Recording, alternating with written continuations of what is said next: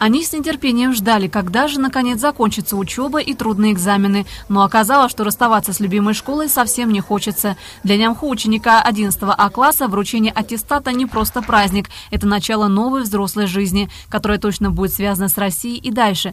Ведь с аттестатом, где всего одна четверка и грамоты за успехи в математике, он уже получил право на бесплатное обучение в России. Университет еще не выбран, но направление определено уже давно – экономика. Сегодня у нас такой особенный день, который все мы получаем аттестаты. И я бы хотел поблагодарить э, всех учителей, э, директора, завучи, что помогали, что нам учиться и спасибо за все, что они делают.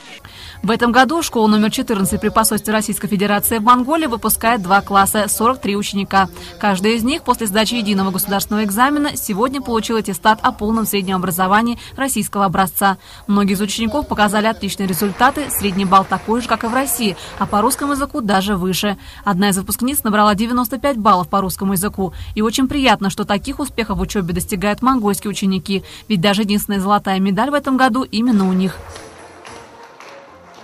Сегодня у нас э, традиционный праздник, праздник выдачи аттестатов о среднем полном общем образовании для наших выпускников, выпускников средней общеобразовательной школы при посольстве России в Монголии. Сегодня у нас 43 э, молодых человека, юноши и девушки, выходят в жизнь, самостоятельную жизнь. Для них открываются различные дороги, различные пути. Они будут учиться в, во всех странах, где захотят.